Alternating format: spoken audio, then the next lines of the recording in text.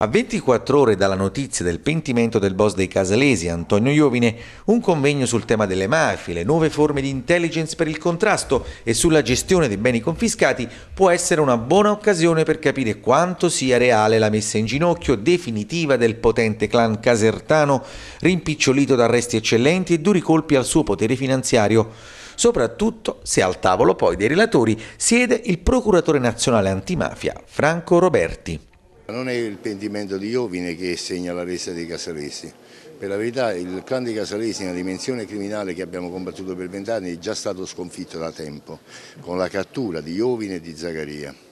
Ora la collaborazione, l'inizio della collaborazione di Iovine è il segno che ha funzionato bene per tanti anni l'azione di contrasto e che anche i capi della Camorra che sono detenuti al 41 bis forse cominciano a capire che è meglio collaborare con lo Stato che rimanere dove stanno. C'è il rischio di riorganizzazione secondo lei?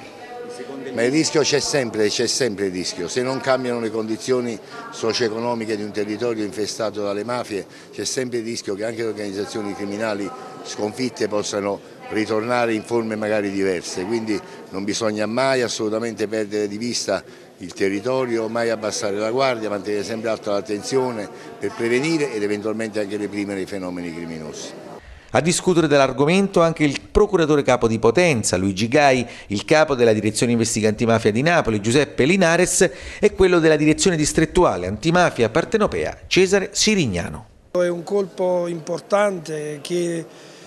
depone per, una, per, un forte indebolimento dell'organizzazione casalese e che fa sperare anche peraltro in future prossime collaborazioni.